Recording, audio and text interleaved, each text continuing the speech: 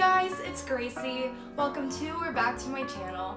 Today I'm going to be talking about how I chose the college I'm going to in the fall and how I chose the colleges I applied to in the first place. Before I actually started the application process in August of my senior year, I was obviously thinking about the colleges I was going to beforehand when I was taking the SAT, choosing which colleges to send my SAT scores to. The irony is the majority of the schools I did send my SAT scores to, I didn't end up actually applying to, and that is because I kind of had different standards set of what I wanted in college by the time I decided to actually apply. So just to give you an idea of what I was doing, I sent my SAT scores to schools like Harvard, John Hopkins, and um, the University of Chicago, think those were like the three higher up schools I sent them to, and then I sent them to the University of Cincinnati and Indiana University Bloomington and IUPUI. Those were the schools I originally sent everything to. So I actually only ended up applying to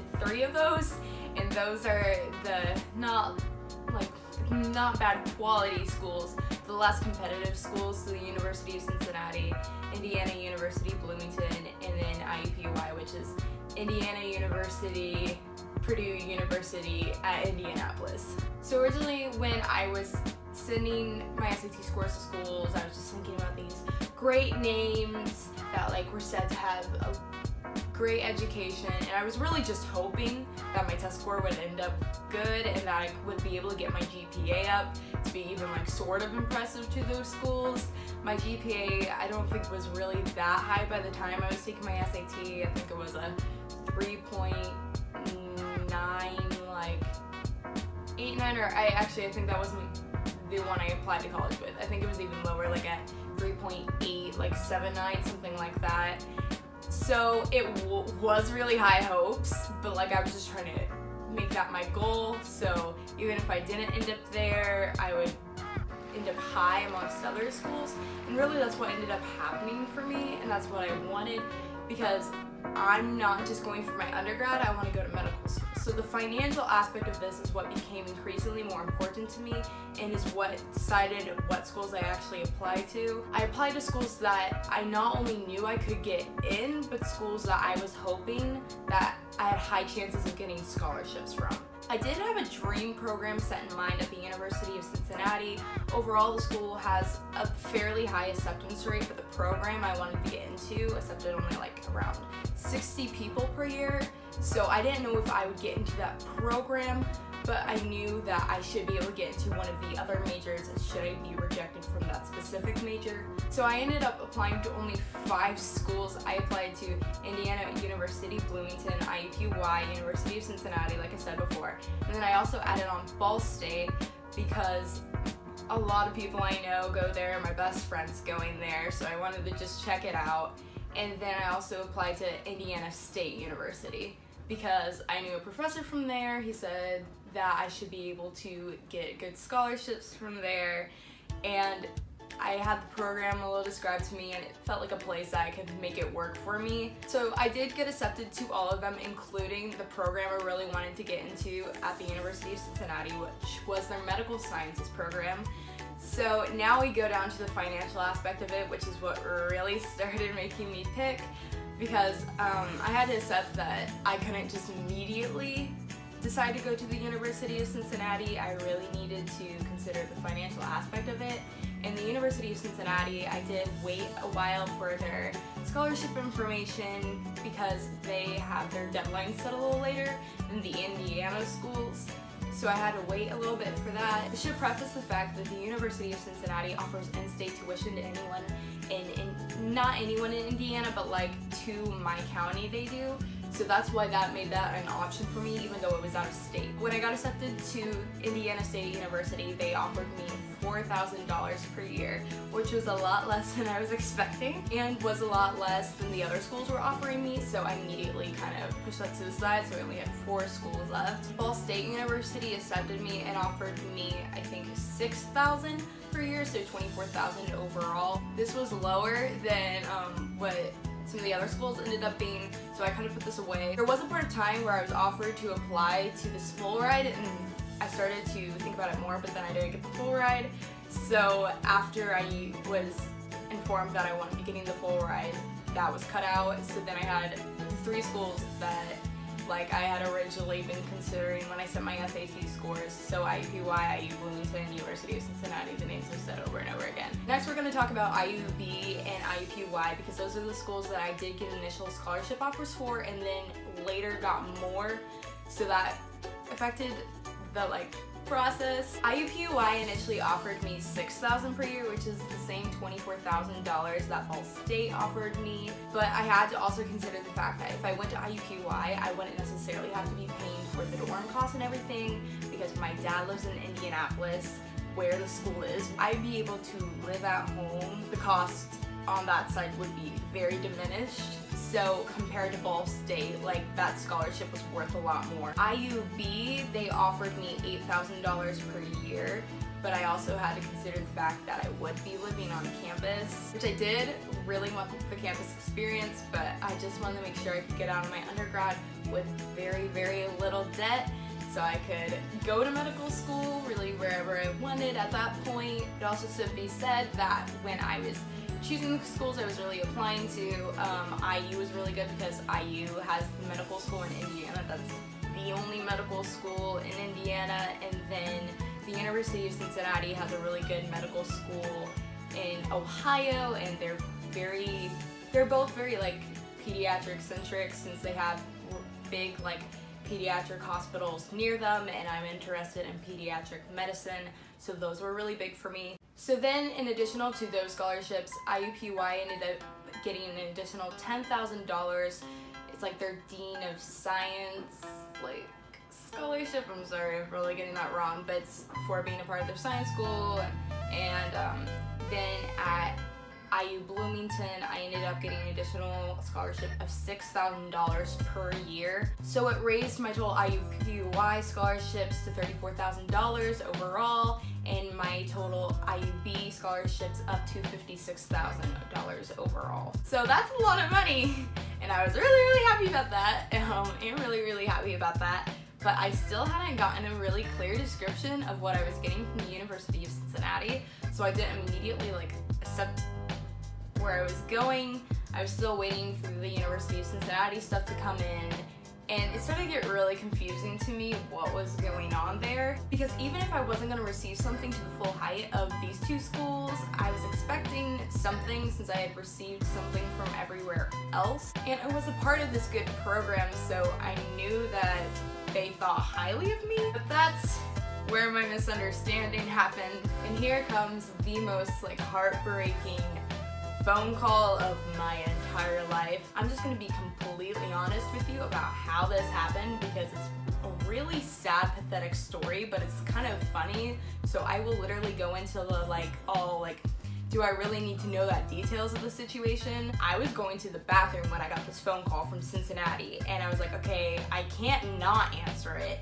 So literally answered it on the toilet my god, I can't believe I'm sharing this. You just need to understand the situation, answer it, and like, hi! And so they were calling me to see if I would like to meet with someone in Indianapolis to talk about the school, to answer any of my questions, to help me make my decision, basically trying to get me to go there. And I was like, yeah, that's really cool. But I've had some misunderstandings with my financial aid. I don't really know where to find it.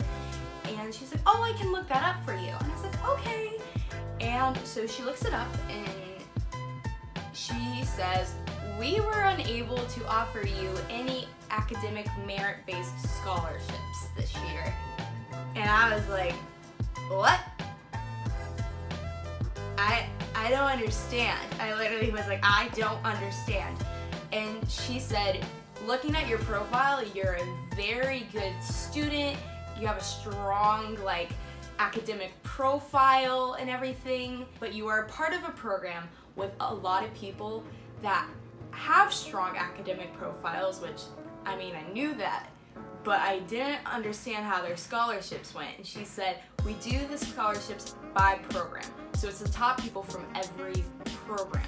So because I was with so many other like high achieving students, they couldn't give me the scholarship. They had to give them the scholarship. So if I had been rejected from this program and accepted into my second choice, which was neuroscience, I would have had scholarships there but I didn't get scholarships in the program I wanted. And then she tried to convince me like, oh, you have these like financial aids, you have these grants and like these loans. Like with the grants, you can have like, you know, like $5,000 per year. And I'm like,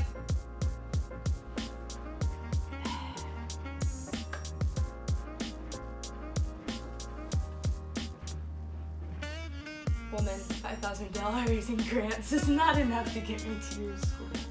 And I was just kind of like, okay, like that's great. Try not to cry my head off on this phone call. And she's like, okay, yeah, so do you want me to schedule an appointment with one of our people in Indianapolis to talk about the school? And I said, I think I'm good.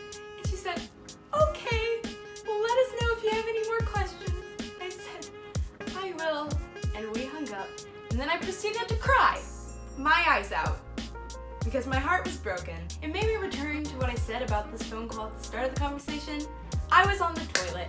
So now, I just got the most heartbreaking phone call of my life. Okay, probably not the most heartbreaking. Mm, second most heartbreaking phone call of my life on the phone, on the toilet. I'm sobbing on the toilet. Like, this was the most pathetic moment of my life, probably. So at that point, it became pretty apparent to me that the University of Cincinnati was no longer in the running, which sucks because I loved that program so much. But I knew that I could be as successful as I could be in that program at one of the IU schools. I knew that. I knew that I could make my place there.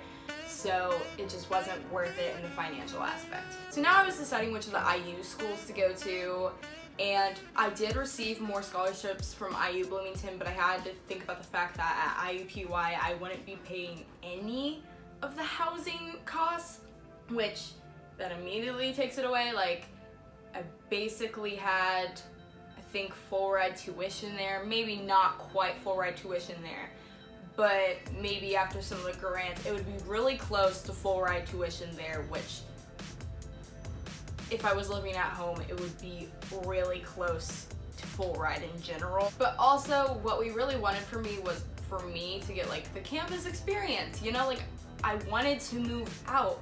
I didn't want to just like live with my parents. Like I love my parents, but like, you know, I need to grow up. Like I don't want to be that one kid in class that hasn't grown up yet. It's an important experience to move out at this point in your life. It seemed to me that IU Bloomington had a lot more of a campus experience. IUPUI has definitely been developing that aspect for the past like few years. It's changed a lot as a school and I believe that it will continue to change a lot as a school and develop more of that campus like lifestyle but it still wasn't like up to par to like Bloomington. So what I ended up deciding in the end is that the scholarships that I was offered to IU Bloomington were enough to make it an option for me to go there instead of IUPUI, even though I might be paying more in the long run, the difference in price was worth the experience to me. So I'm going to IU Bloomington. I'm really excited. I move in in less than a month, like 20 something days.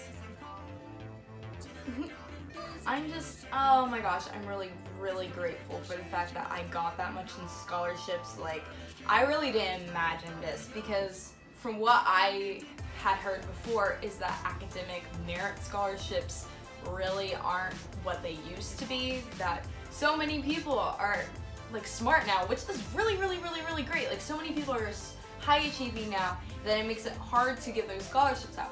Which I mean, I like that. I like that we are such a high achieving group of like students and stuff. Like, yay my generation. Like, I'm so proud of us. Like, we're all doing well and going to college and having these big dreams. But at the same, you know, point, I wasn't expecting a lot because of that.